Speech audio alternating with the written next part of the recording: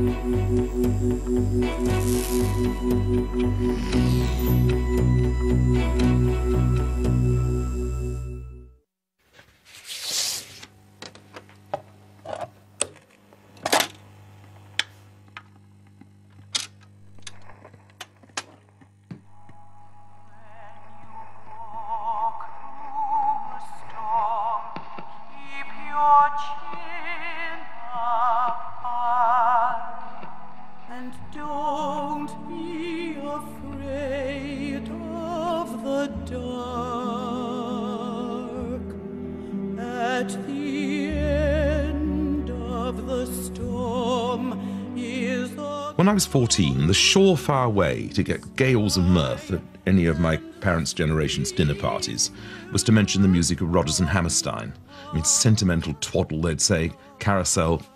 No, no chance, no hope. If you mentioned Victorian architecture, there would be rage, pretty much apoplectic rage, anger. But if you really wanted to cause uproar, if you really wanted people to choke into their fondue sets, you mentioned the Pre Raphaelites. I became very excited about the whole Victorian movement. I loved these so called unfashionable buildings. Of course, people like John Betjeman were beginning to crusade for them. And so I suppose I joined the crusade with a great and excited heart. And that's when I discovered the Pre Raphaelites. Who were these people who painted these extraordinary doomed women, who painted these pictures of their time with huge moral messages? Who were they? Shall we find out?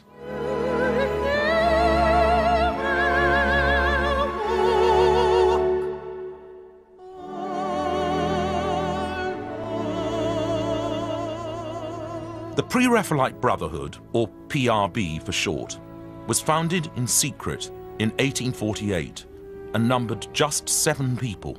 Of the original group, three are famous. John Everett Millais, the youngest ever entrant to the Royal Academy of Art, the Christian visionary William Holman Hunt, and Dante Gabriel Rossetti, a man who soon developed a reputation for getting rather too entangled with the women he painted. All of them were around 20 years old, and they were determined to shake up Victorian London. London calling to the faraway towns. Now war is declared and battle come down. London calling to the underworld. Come out of the cover. I'm on my way to the house in Gower Street where the Pre-Raphaelite Brotherhood was founded in 1848. In fact, it was the house of Millais's parents, I think there was a little less traffic in those days. to the imitation zone. Forget it, brother, you can go it alone. London calling to the zombies of death. The guys put a plaque on the door saying PRB. Some people, of course, thought it meant please ring the bell.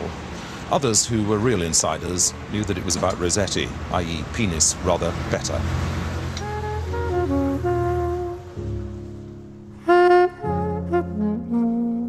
Today it's an office, but once upon a time the back room was Millais's studio, filled with canvas, paint brushes and bric-a-brac.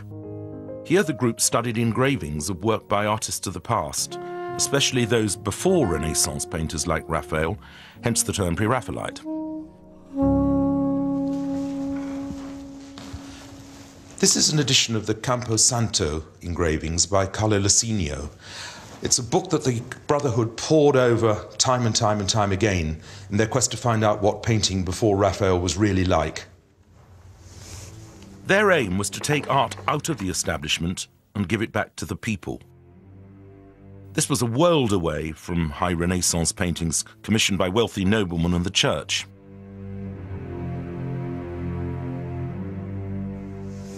What these engravings offered were pictures of real people faces that the artist saw in the street, engaged in conversation.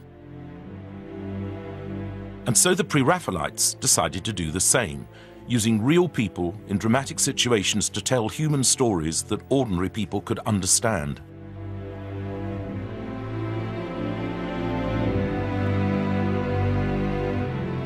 Their paintings are unafraid to tackle the big themes. They are about love, death, history, myth, legend, religion, morality, and above all, they're about psychological drama. whether it's a proposal of marriage, a betrayal, or a death threat.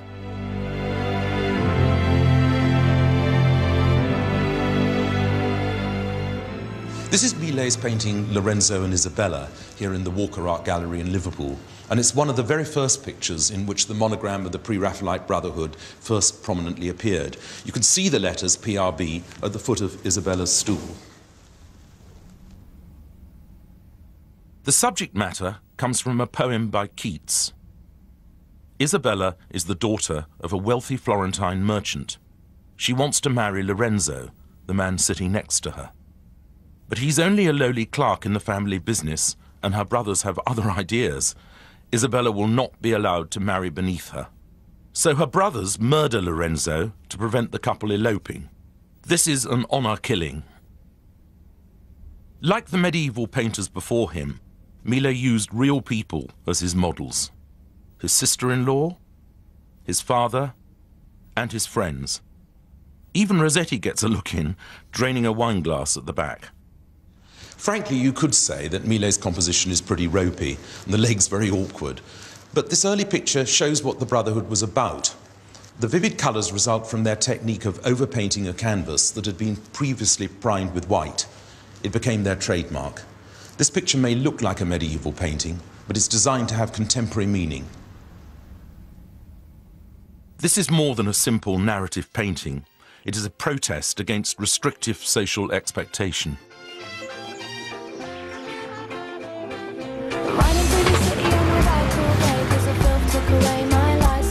The year 1848 was a time of massive social change when the Industrial Revolution was in full throttle. Towns like Manchester, Liverpool, and London were overcrowded, unsanitary, and diseased. Infant mortality was high, and death was ever present. I'm here in sunny Cleveland Street, just north of Oxford Circus, where Holman Hunt's studio was. By the 1840s, apparently it was even nastier than it is now. A real Dickensian place with prostitutes, you name it, cheap shops and all the like. I don't think it's improved.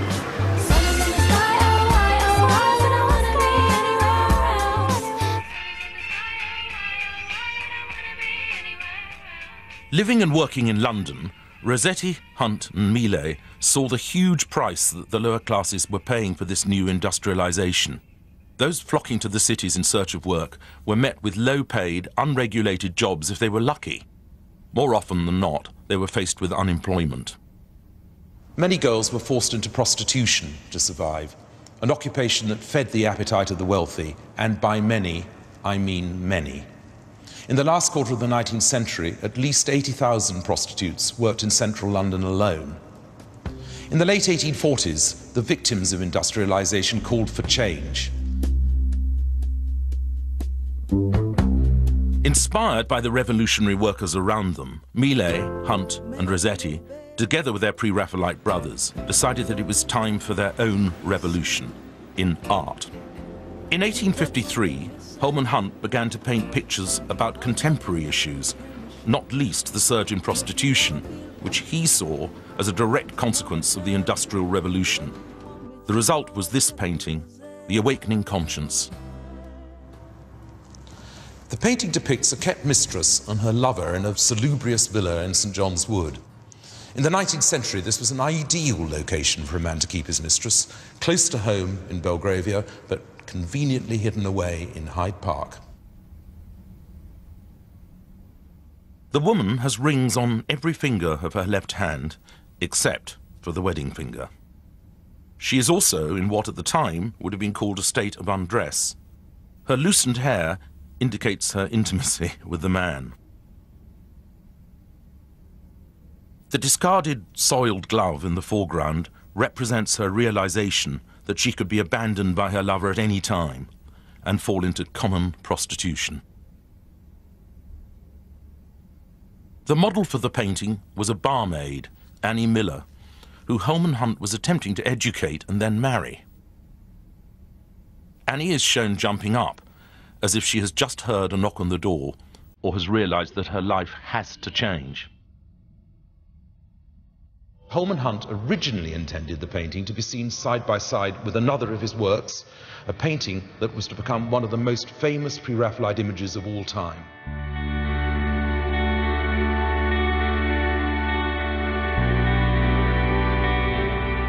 In The Light of the World, Hunt depicts a passage from the Bible. Behold, I stand at the door and knock. If any man hear my voice and open the door, I will come in to him and will sup with him, and he with me.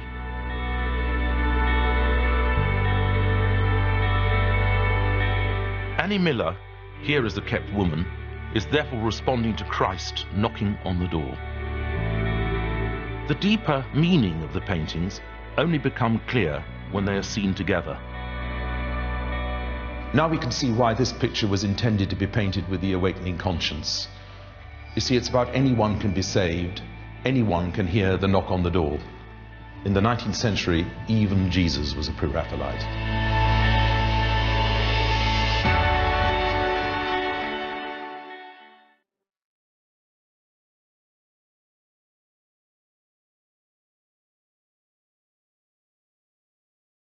In the summer of 1851, John Everett Millais and William Holman Hunt travelled to the countryside and began painting outdoors. They painted every day except for Sunday, usually from 8 in the morning until 7 in the evening, 11 hours a day, 6 days a week for 23 weeks. The idea was to rediscover the natural world that was threatened by the Industrial Revolution. This is Holman Hunt's famous painting, The Hireling Shepherd, in the Manchester Art Gallery, where there is the most superb collection of Pre-Raphaelites and wonderfully shown. I recommend everybody to go to it. The story here, of course, is, is that the shepherd is neglecting his flock, showing something called a death's head moth to his girlfriend, which is an excuse, obviously, for him to get closer and closer to her. And whilst all of this is going on, the sheep are straying, as you can see. One has even got deep into the field here. And every little bit of this picture is, is in my view, a picture in itself. It's painted on a white background, of course, like the Pre-Raphaelites always did, primed in white so that the colours stand right out at you. And no attention to detail is spared. If you just look here or here or here or here, you just took them as a little, little snapshot they are paintings in their own right. So none of this darker around the edges. The Pre-Raphaelites painted absolutely everything, whether it be the little flowers or the apples or the detail. It's all, all here for you to see. Of course, it's rather a naughty painting in some ways, and of course there are allusions to the Garden of Eden. Uh, I am always rather amused by the fact that he's got this keg, so they're clearly going to get stuck in at some point. These uh, wonderful country rustic people with their very brown skins. And look at his arms. Um, again, you know exactly what's going to happen. This story is only going to end in one way.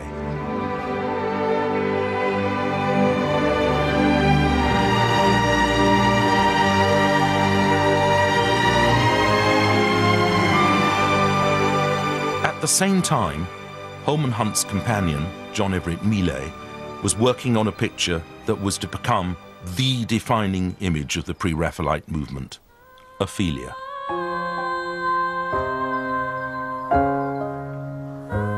The picture is based on Queen Gertrude's description of Ophelia's suicide in the fourth act of Shakespeare's Hamlet. Ophelia is depicted floating in the stream, buoyed up by her clothes spread wide and still singing snatches of old songs. Take a look at my body, look at my hands. Everything theatrical is secondary to the depiction of the natural world around her.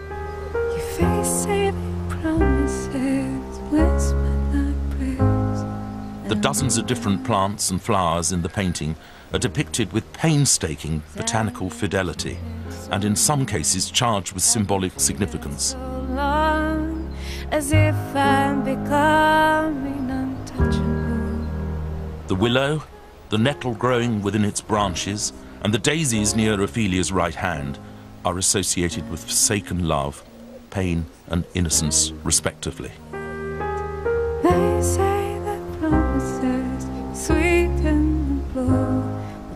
Poppy is a symbol of death. The Pre-Raphaelites first exhibited their paintings at the Royal Academy Show, then held at the National Galleries building in London's Trafalgar Square. Not all their paintings were well received. Once the secret of the Pre Raphaelite Brotherhood was out, the critics really took against the idea of a secret society. Take Christ in the house of his parents. This was the first important religious work exhibited by Millais and one of the most notorious produced by a member of the Pre Raphaelite Brotherhood. The critics slammed it. Most shocking of all was Millais's depiction of the Virgin Mary. What he is after here is realism, but her haggard expression was interpreted by some as a sign of degeneracy. The Times wrote that the picture is plainly revolting. Millais had insisted on working in a real carpenter's shop, said to have been located on Oxford Street, where he installed a bed.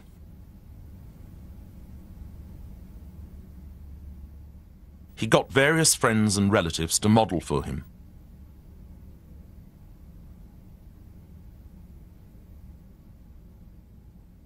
Millais's sister-in-law, Mary Hodgkinson, sat for the Virgin Mary. The sheep were painted from two sheep's heads that he obtained from a butcher's shop. Millais even cut his own finger and squeezed the blood from it onto the palm of Henry Noel Humphreys, the young model for Christ.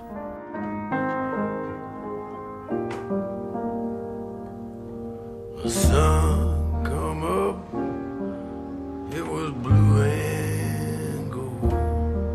In the age of photography and the microscope, the Pre-Raphaelites went to extremes in their pursuit of detailed realism.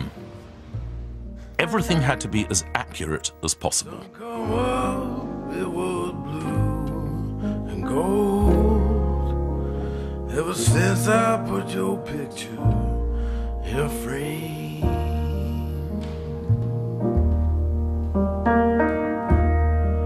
When Holman Hunt had the idea of painting this goat here in the Lady Lever Art Gallery in Liverpool, he wanted it to be a symbol of Jesus Christ. It is a reference to the scapegoat in the Old Testament of the Bible, a goat that was driven out of the temple on the Day of Atonement, bearing the sins of the community. This then becomes a symbol of Jesus Christ, who died for the sins of the world.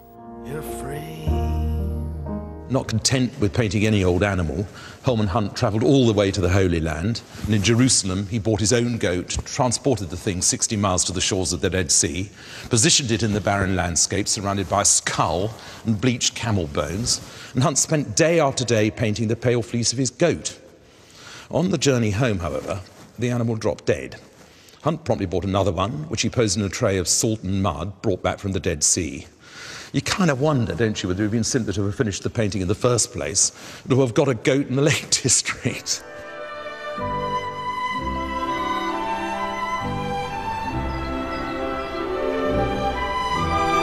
There is perhaps a hint of insanity in Pre Raphaelite painters. Like their subject matter, they are not always of this world, obsessed with detail, possessed by madness, and haunted by dreams, memory, and death. Love and beauty were central to Rossetti's paintings in particular. He had a weakness for women, and particularly women who were attached to other people. He developed an infatuation for Janie Morris, the wife of his friend William Morris, the designer and poet. And the two had a passionate affair, an affair played out on canvas again and again. This is Rossetti's masterpiece, Astarte Syriaca. Frankly, if you don't get this picture, it's time to channel hop because it really, truly is the embodiment of everything that Rossetti stood for. It's, of course, about his passion and love for Janie Morris, William Morris's wife.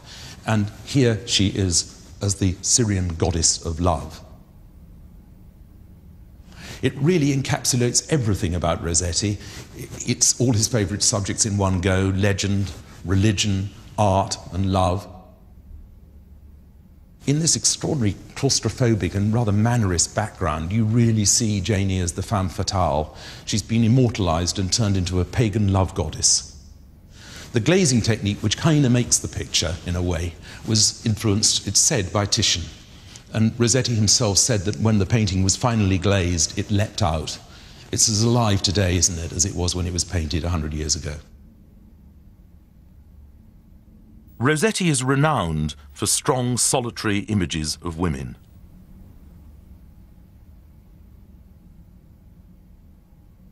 The idea was to make an artistic stand against the new age of mass production.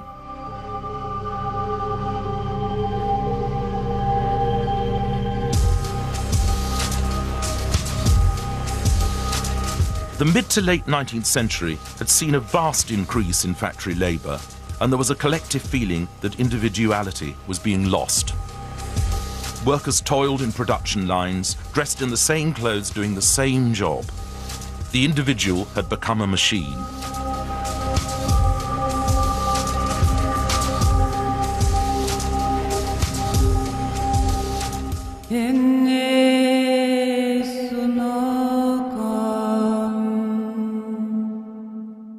By focusing on single female figures, Rossetti was reasserting the importance of the individual imagination and personal experience.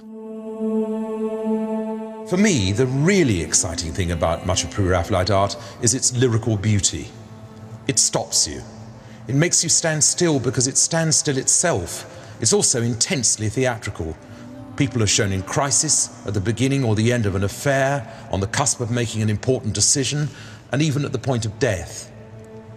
I think that the reason these pictures have always been loved by ordinary punters, as opposed to some of the posh art critics, is because they tell a story. One of the greatest combinations of beauty and storytelling is Rossetti's Proserpine. It's a favourite painting in my collection. Proserpine was the Empress of Hades, who was only allowed to leave hell if she rejected all of the fruit that was there. Unfortunately, she had already eaten a single grain of pomegranate and was so condemned to spend her life between worlds half on earth and half in hell.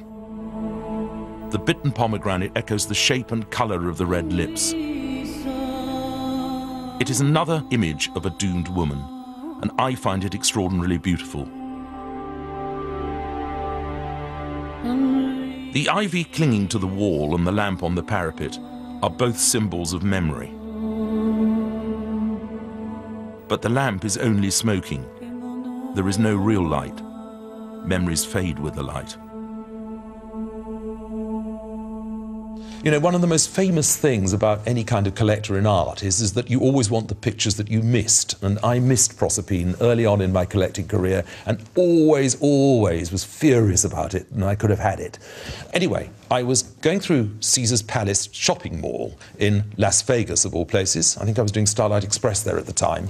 And to my extreme annoyance, there was a vast, blown up version of Proserpine dominating the mall. So I asked the art bookshop there, such as it was, and said, Why on earth is Proserpine dominating Caesar's Palace? And they said, ah, it's the most popular greetings card of uh, the year here. So I was even more angry. And uh, I've only really calmed down since I managed to get it a couple of years ago.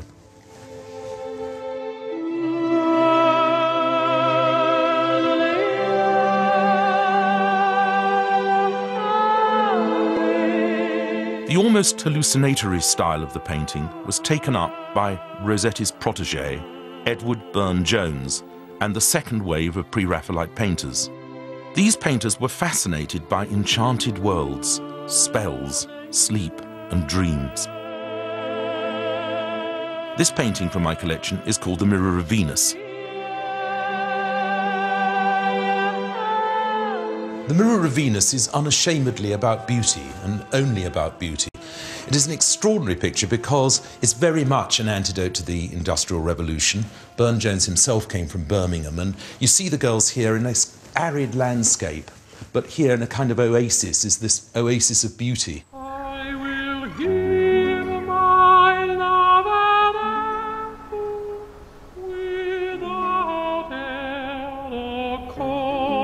Burne Jones claimed that when beauty was allied with the imagination, we are close to the secret of all things.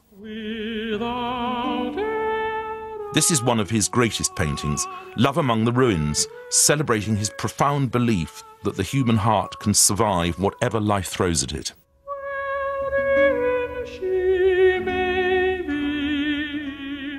These works encourage the viewer to delve into the world of the subconscious, and all this a century before those other explorers of dreams, the surrealists, and the work of Sigmund Freud.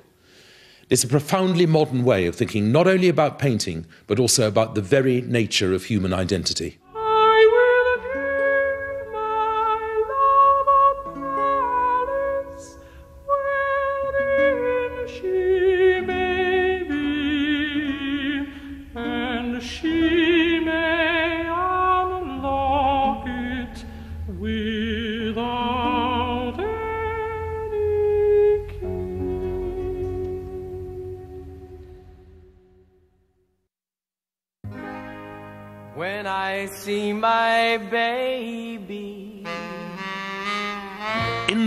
19th century, the pre Raphaelite idea of looking back to a pre industrial past extended into all the arts, particularly architecture. Poetry in motion. One of the foremost architects of the age was William Butterfield, who completely reinterpreted medieval Gothic architecture in Victorian terms. This is Butterfield's wonderful Keble College, Oxford, which I think is one of the greatest buildings in the country. Yeah, I know people have had a go at it over the years, but it is just, I think, amazing, staggering. I mean, if you really don't like this, get a life, because it's a superb statement. I mean, yes, of course, it must have reminded people a little bit like a whole load of teddy boys arriving at some kind of tea dance, but it is just the thing to shake Oxford up. I love this place, and I'll never have a word said against it. I love every movement, and there's nothing I would change. She doesn't mean. Architecture became a central part of the arts and crafts movement in the late 19th century, and the pre Raphaelites were keen to play an active part. This is the most extraordinary thing. It's a design for a Gothic window by Millais, which was drawn in 1853. And this is an arch that blows me away in a way because it's incredibly sensual. It's these angels entwined kissing. And I find this extraordinary because it's Art Nouveau, completely anticipated. A most amazing piece of draftsmanship and incredibly passionate. A very difficult thing to build, I have to say.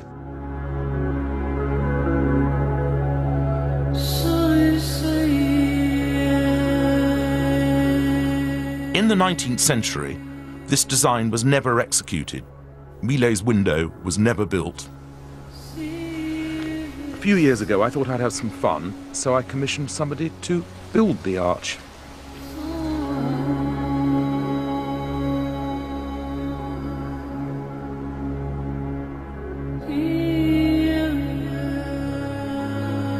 The move into architecture shows the keenness of 19th century artists to extend their influence over every aspect of people's lives, especially homes and interiors, an influence that still survives today.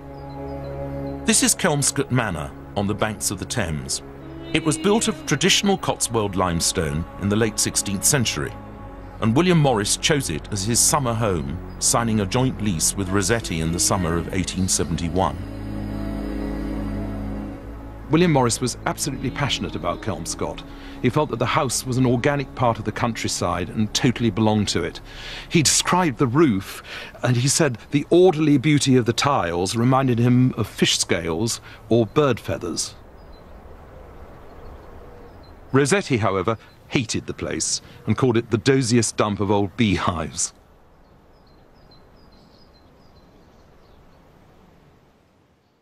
I find it very extraordinary to be in William Morris's house at Kelmscott, but particularly with this book, which some people say is his masterpiece. It's a complete homage to calligraphy, i.e., everything is done by hand. It was designed by William Morris and it was executed by Fairfax Murray to a whole load of designs by Burne Jones, and it is, of course, the Aeneid. I mean, it is astounding. All gold leaf, these extraordinary illustrations, and everything is by hand. It is almost unbelievable. I mean, it's going back to the medieval idea of manuscripts. I mean, how anybody really could be bothered to do this is, is, is what is remarkable. I mean, if you really wanted an antidote to the Industrial Revolution, you've got it here in spades. Absolutely extraordinary. Can you imagine setting about doing this today? I mean, I shudder to think how long it would take to do a page of this. And of course, it's, it is very interesting to see the way it was put together. Now, this is another brilliant one. It almost takes your breath away, this detail. It's purely about beauty. As a book, it has no point at all, other than it's about beauty.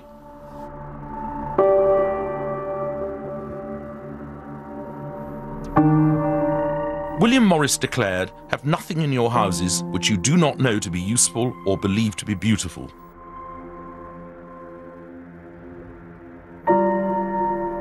Is something for which I am all in favour.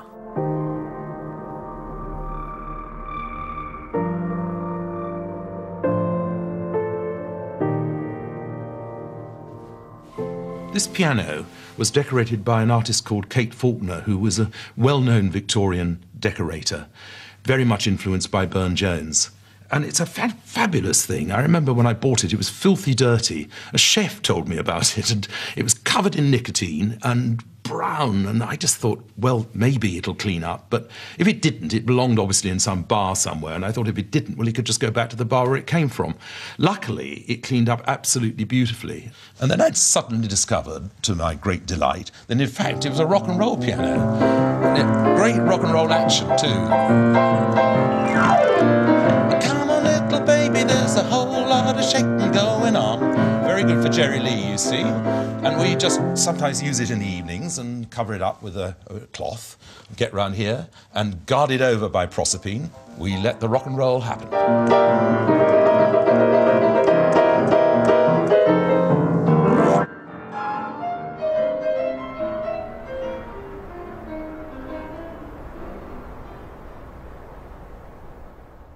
Although I'm now pretty familiar with Victorian art and architecture, there are still places I haven't been to. This is Wightwick Manor, just outside Wolverhampton. It's one of the most perfect examples of the marriage between art and architecture. An unexpected time capsule filled with Pre Raphaelite treasures in one of the least expected of places.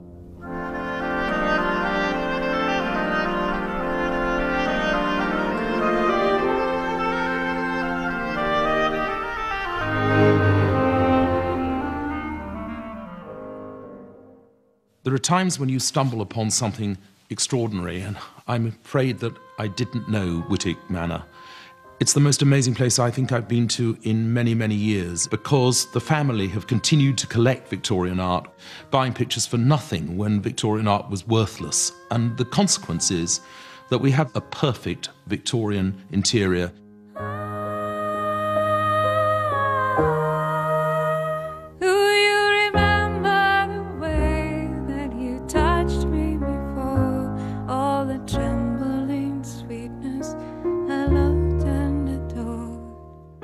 last time I was totally blown away by a building that I'd never seen before was I went to see Saint Denis to the north of Paris, where, of course, it's said that the Gothic arch was first invented by Abbot Suger. I, I cried when I saw the building, and I've just cried going around here because this Wightwick Manor is the most extraordinary place I think I've, I've been to in so many years, I can't even count them. It's alive. This place is not some museum at all. It's about a whole family's passion for Victorian art. Art collected in the 30s and 40s when art was of this kind was just valueless. I've just seen some cupboards upstairs which were designed by Rossetti for Swinburne, which the owner bought for five pounds, basically off a skip, and you just say, this building is it. There's Janie Morris's little sofa where she sat. There's the work of her children here, you know, embroidery and everything. And it's just breathtaking, overwhelming. And I don't know, I, I, I don't think I've ever been to a place like this at all because it's Victorian art alive. It's not a museum. You've got to come here.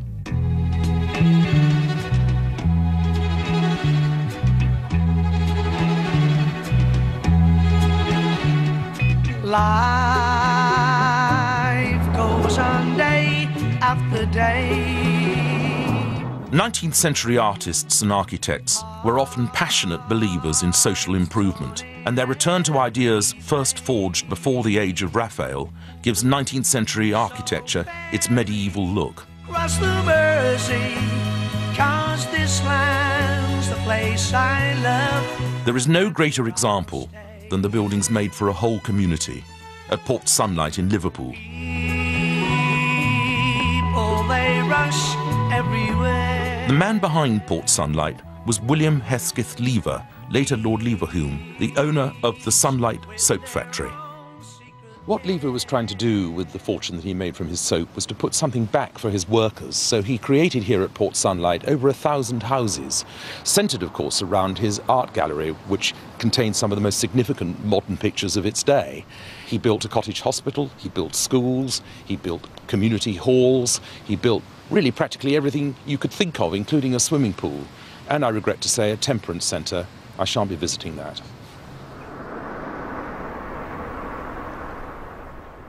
These were men who had profited from the Industrial Revolution and now wanted to give something back, and the arts and crafts style was a perfect fit for them. May not have worked to everyone's taste, may not have lasted, but it was a noble ambition that showed just how extensive the influence of the Pre Raphaelites had become.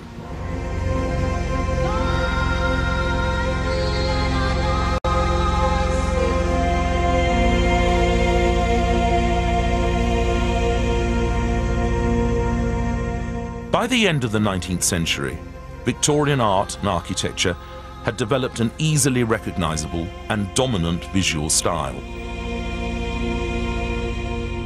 But as the 20th century began and the First World War loomed, how would it survive in the new modern age?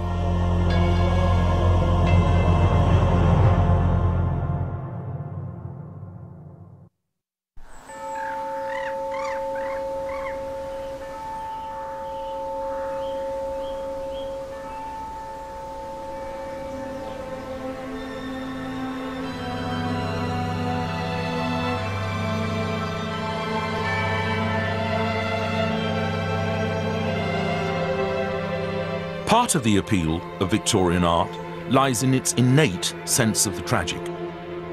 So many of the paintings are about love, loss, and death.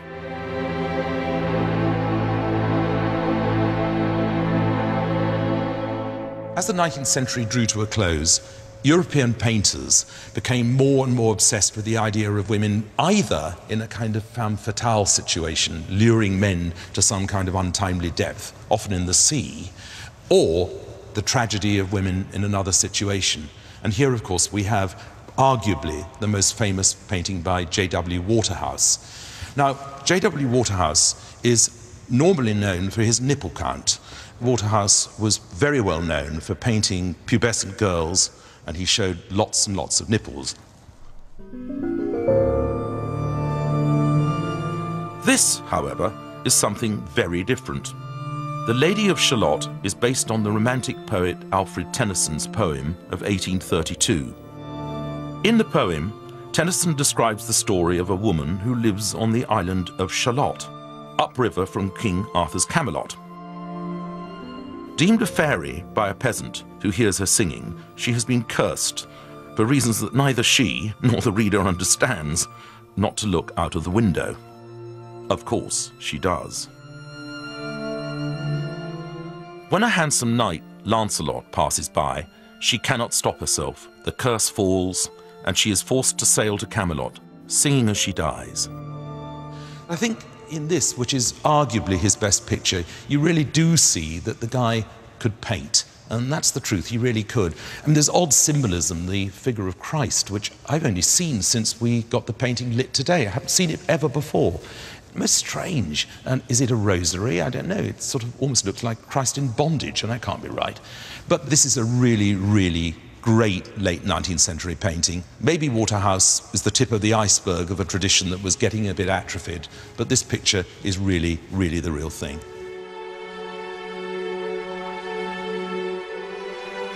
The idea of untimely death fascinated Victorian artists. Poets often got the worst of it. This is the young romantic poet Thomas Chatterton, a writer of Gothic tales who killed himself with arsenic because he couldn't make ends meet. The painting is by Henry Wallis and carries on in the tradition of heroic martyrs dying in the cause of art.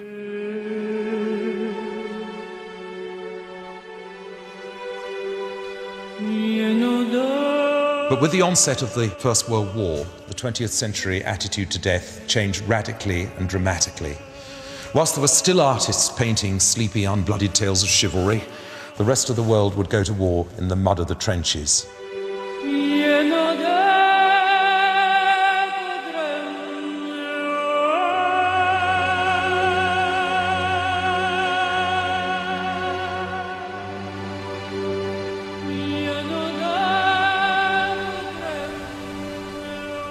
After the horrors of the First World War, Victorian painting, and particularly the late pre Raphaelite followers, became anathema.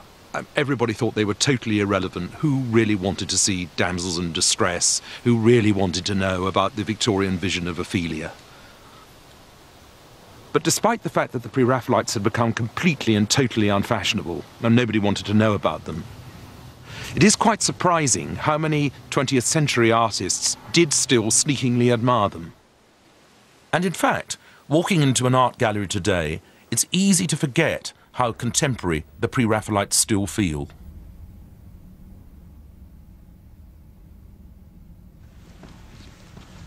Wow.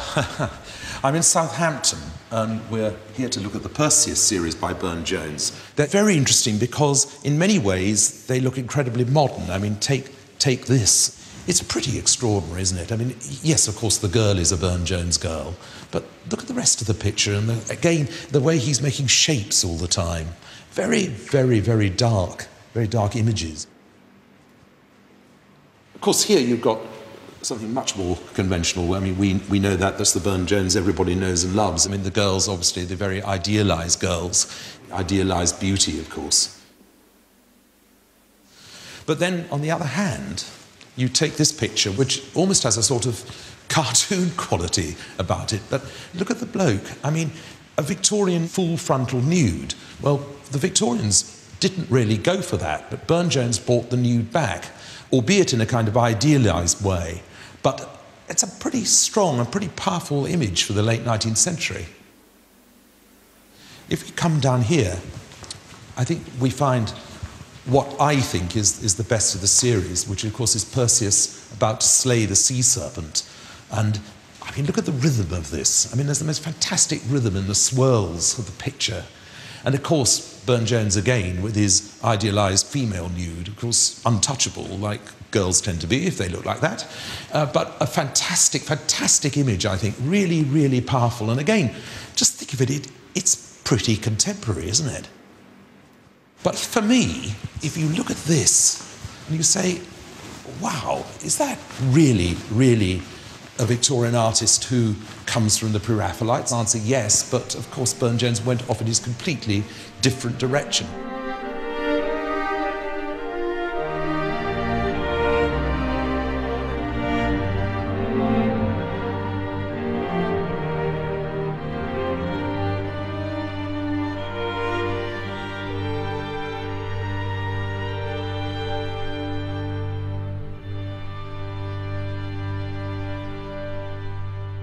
This is the fall of Lucifer, which Burne Jones wanted to call Paradise Lost. And in my view, it's one of the most interesting pictures that I have because it was originally designed for the American church in Rome, which, if you're in the Eternal City, is, in my view, one of the better places to go. It never was executed, it was never, never designed. It was, I suppose, going to be some kind of mosaic, but it never happened. And Burne Jones kept it in his studio and was very, very fond of it. He kept saying to his wife that nobody understood it and nobody appreciated it. And I wonder if, without it sounding a bit pretentious, whether or not it's really because he's experimenting with a kind of two dimensional cubism. It's a very, very remarkable piece. I mean, you do get the feeling that Burne Jones is trying to move well away from the Victorian art that he's probably best known for. And I think that the extraordinary thing about it is how modern it is.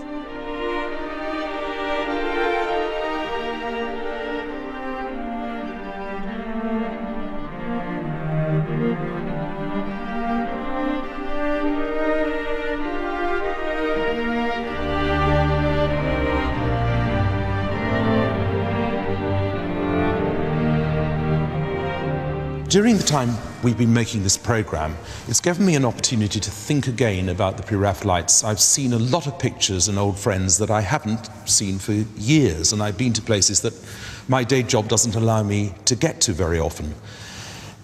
I've been thinking, therefore, about what is it that makes the Pre Raphaelites so special, particularly to the British. If you think about it, they painted subjects that came from our most famous authors, such as Shakespeare or Tennyson. They painted our landscapes, but they also painted contemporary subjects, such as prostitution, as we've seen.